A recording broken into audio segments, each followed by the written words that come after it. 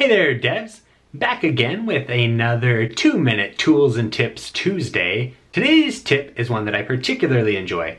We're going to take a look at the auto scroll from source option in the project pane tool window. Now what does that do?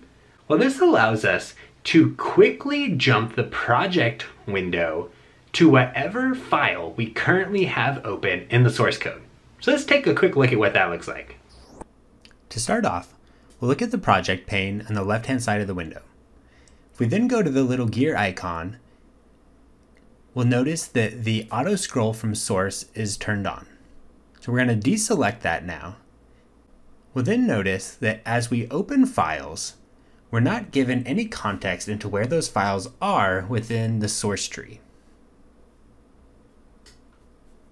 So if I open up main activity, we'll see that the file opens, but nothing changes in the project window. So this is a bit disorienting because you don't know where that file is actually coming from. This is particularly important if you're in a multi-module project. We'll go back to the project pane dropdown and this time select auto scroll from source. Now as we open up files, we'll see that the project window updates to show us where the currently selected file is.